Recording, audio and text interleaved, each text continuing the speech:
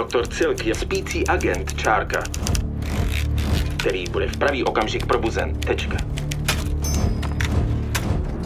Dobrý večer, dámy a pánové. Dobrý večer do Vídně a Prahy. Na vaše další. Stadtgespräch.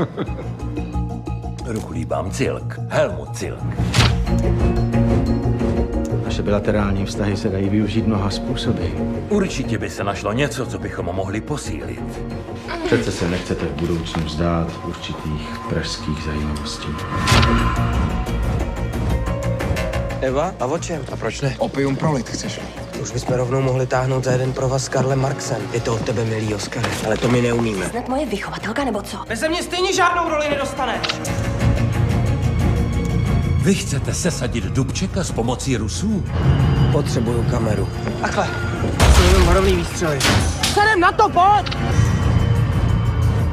Co s tím mám dělat? Vojsko z arabských států přichází jako přítel. Vysíláte to v nejbližších zprávách.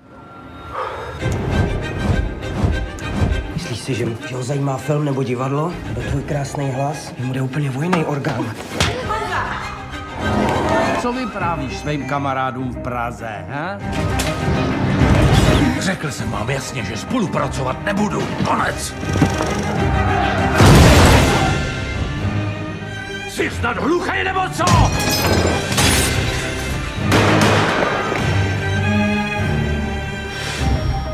Když sebou na tom háčku budete škubat, zapíchne se vám pořádně hluboko. Pak to na vás praskne holec. To bude konec vaší kariéry, konec s buchtama, manželkou i přáteli. you.